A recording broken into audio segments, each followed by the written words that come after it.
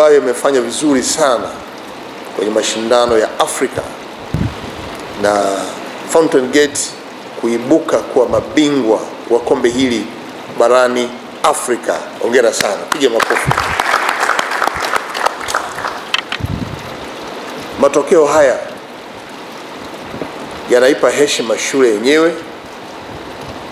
Matokeo haya yanaipa heshima, yanaupa heshima mkoa wetu wa Dodoma ambako ndio makao makuu ya nchi, kwa si jambo dogo.